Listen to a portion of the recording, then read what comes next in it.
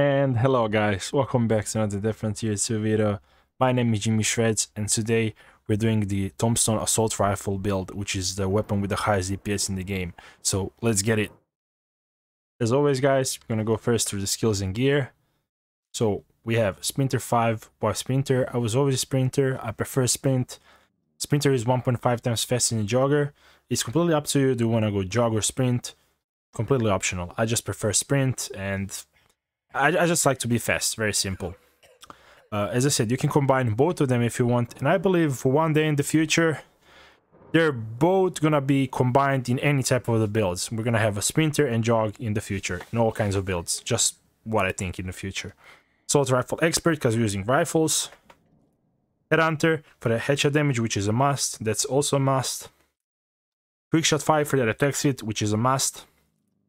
Marksman for that maximum accuracy an aim speed, which is a must, and a range as well. Uh, reloading 5 for walk speed, reload speed, and ammo capacity, which is a must. Hunter 5 for damage versus mutated, which is damage against the bosses, which is must. Looter 5, completely optional. 50% surge speed, that's all we care about because it saves us 1 second between each uh, loot spot that we're looting. So when you're bossing, you'll save 1 uh, second between, so when you have 2 loot spots to loot once you kill the boss, you save 2 seconds, very simple. This is optional. Toughness 5, uh, I highly advise you to have it. 75% HP is a big help because there are the days we might not play perfectly, we might make mistakes, so we survive if we do mistakes. Uh, quick reflexes, so I do say uh, toughness 5 is a must. Quick reflexes is also I do say a must. 63% dodge cooldown and 75 incoming incoming stun recovery. That dodge cooldown will uh, help us a lot, especially if we do mistake. We just dodge, we cannot get damaged during the dodge animation, quite useful. And that plus 75 incoming stun recovery will help us to get a faster uh, out of getting staggered. So highly advise you to have it, definitely. Armor 5, that's optional if you're using armors. So the thing is with the armors, uh, it's uh, they're really really good Uh, because uh, you know they have that armor absorption durability. So it's like when you wear armor, think of it like you don't have to use meds. You'll have to use less meds, but I have to repair armor. So think of it, you have to carry less items.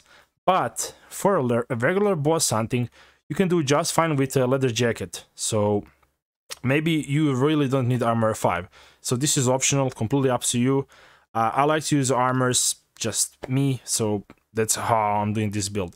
And for the hard 5, uh, completely optional, but I advise you to have it due to spine enemies, because they have those bones covering their heads and such, so sometimes you'll have to go for the legs, lower body, which is a body uh, damage, so that helps. So it's it's optional, but I advise you to have it, it's not a must. Now we're gonna go through the gear and weapon. First, I'm gonna show you Tombstone.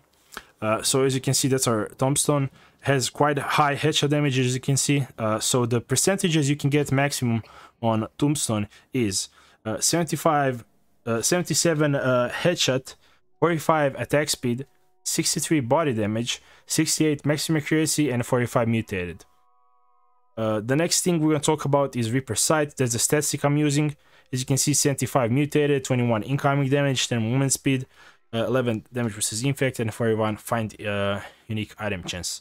I like to switch between Gore Shimmer and uh, Reaper Sight. Depends where and what I'm doing. So for regular bossing, I go with the Reaper Sight. If I'm doing like bosses uh, inside of a commerce or the new building that we got in Ravenwall, uh, I'd go for Gore Shimmer because that mutated and higher incoming damage and HP and walk speed and movement speed are really helpful. And I that 12 mutated is, I mean, it's good, but on the enemies that are tougher and uh, where we we might get damage, I would rather go for something like this because Gore Shimmer is the best overall static when it comes to to the overall stats. While Sight is the best static when it comes to damage because it has 75 mutated. No other static in the game has higher mutated. So this is how I play it. When I do regular boss hunting, Reaper Sight. When I do something really serious like commerce and something like that, Gore Shimmer. So if you're following that, I advise you to do it like that. Now, the things we're going to talk about next is a Fright Mask. As you can see, this is our fright mask. Uh, so what you can do in terms of, uh, you can either go for fright mask for your headpiece or uh, hangman's mask.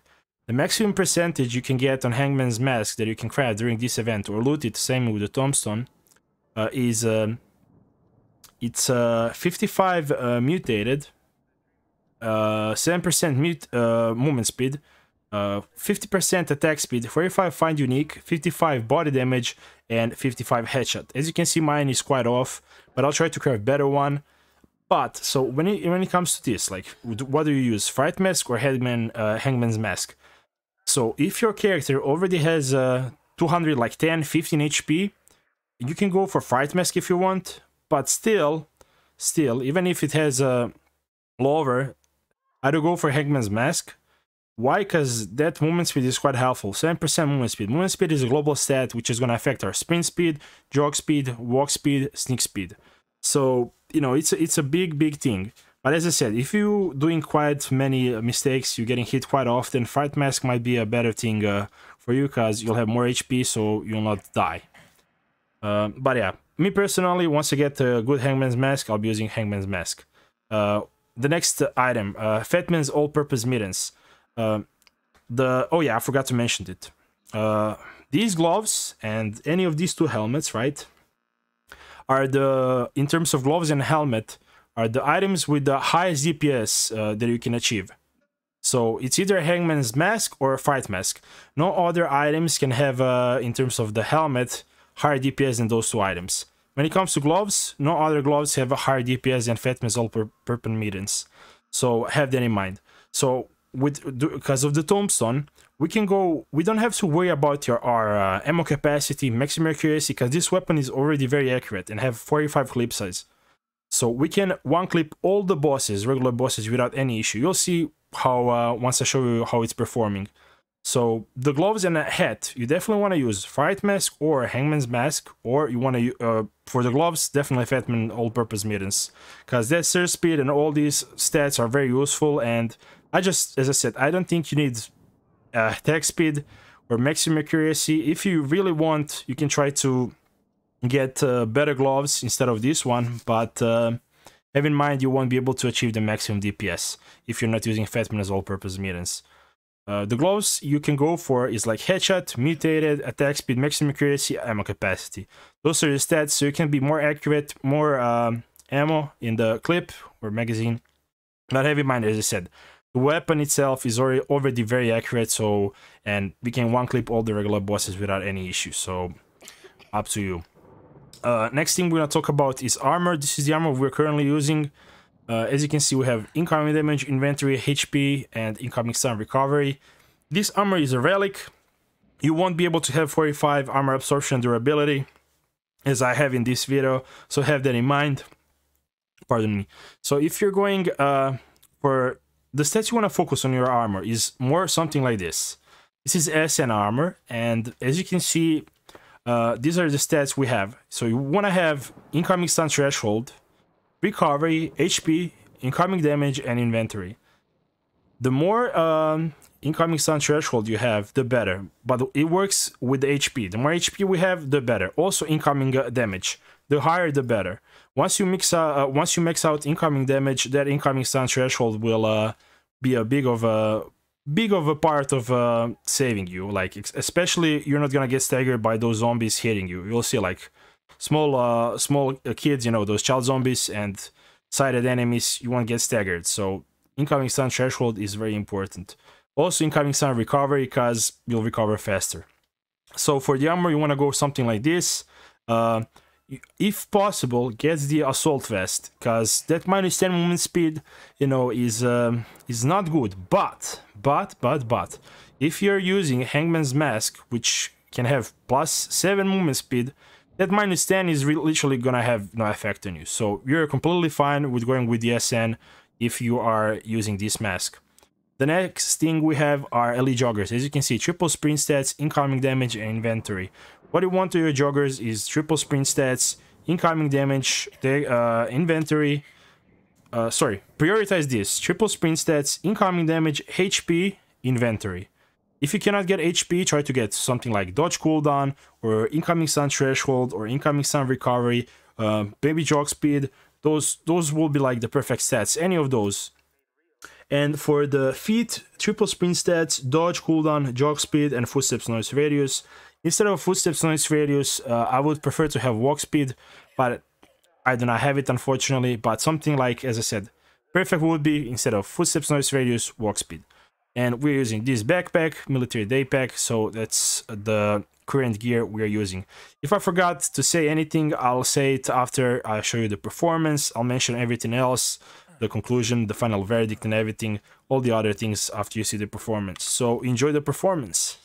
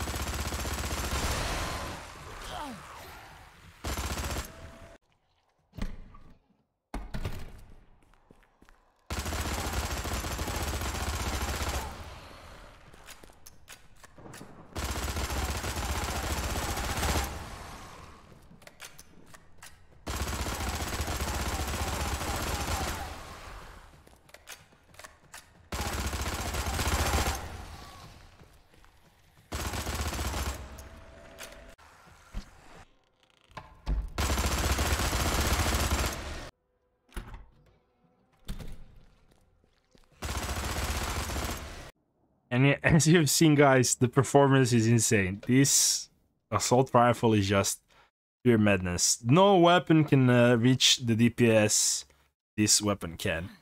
So, uh, the thing I want to talk about is the DPS I was able to achieve with this weapon was exactly 2.2k. I'm gonna show you my stats and everything. Here are the full stats so you can see how I achieved it and everything. So with the that's with the proper items, right, and everything, and using some uh, food buffs, and also I was using what I forgot to mention.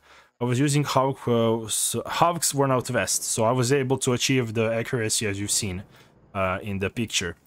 So I have that in mind. Also, the maximum DPS you can achieve with uh, Tombstone with the proper gear is 2.4, sorry, 2460 is with the proper gear. If you use Forsaken example, for the body piece, which I do not advise you to use it, but you can do it if you want, completely up to you, you can get over 2.6k DPS on the Tombstone, so have that in mind. But with optional, proper build, that we can do everything close to 2.5k. So the thing also I want to talk about is, uh, I know the ammo is a big issue currently for most of you guys, I believe the price will drop. I don't see ammo going below 3k. I could be wrong, but I think the stack of 8 mil uh, rifle round will not go below 3k. So, yeah, it's it's. I highly doubt it because this weapon is just insane. Uh, when it comes to the attachment, uh, I advise you to not use any. Currently, do not put any upgrades attachments on this weapon. Now, I'll tell you why. Well, we can kill any type of boss, regular boss, without any extra ammo that we need. And we are already insanely accurate, as you've seen in the picture. Like, the accuracy, maximum accuracy error is already low. Uh, anything below 1.2 is insane. Is oh, sorry, already good. Anything below 1 is insane. So, you know, thing is, if you're going for the Fright Mask and the Fatman's All-Purpose Mittens or Hangman's Mask, well, you cannot achieve the uh, below 1 uh, accuracy. Even if you if you put the compact scope on it, you won't be you won't be able to achieve below 1. But we're close to 1.2 already without it. So I don't really think there is a need to put a compact scope on it or the brand new magazine. If you really want, you can go for brand new magazine. But as I said, I just keep it. I'll I would like to see what kind of new enemies we're gonna get added into the game, and then I, I will uh, like to put the, the attachment on it because I just don't see a purpose of adding any of these because this weapon is already like super accurate, uh, has more than enough ammo to one clip the bosses outside of commerce. Some bosses in commerce you can one clip, some will not be able to. Even if you if you had that brand new magazine, you still won't be able to one clip uh, majority of them in the commerce in such buildings. So I don't see a point in adding that. Just the way I think. So also what I wanted to say is there is a high chance that this weapon will be using a different ammo type. There's a very high chance that that that's gonna happen. I, I could be wrong, but have that uh, on mind. And if you do not have it, this weapon currently or this mask, I highly advise you to craft both of them if you can. Definitely give it give it a try. You know, uh, try to get them. Because man, this this weapon is insane. No weapon can com compete to this. This weapon has the highest DPS out of all weapons in the game. It's just insane. So you know, final verdict conclusion is it still worth it? 100%. Get it yourself if you do not have it yet even after the nerfs it used to be it used to be 12 headshot and uh, 6 body damage it's now 11.1 and 5.55 body damage so 11.1 headshot 5.55 body which is still insane if you ask me as you've seen, the performance just the weapon is just insane i'm gonna leave down in the description my um, my socials everything that you need like Twitch, Discord, so which uh, where you can chat with the rest of the community while I'm offline, my Twitter, Instagram if you want to follow, all the socials down below, and also pin in the comment if I forget anything, so you know, so we cover everything if in, just in case if I forgot something. So yeah, that'll be it for this video, guys. I hope you enjoyed and you know, make sure you craft it. Okay, uh, thank you for watching, and I'll see you in another video of Dead Frontier 2, guys. Till next time, peace.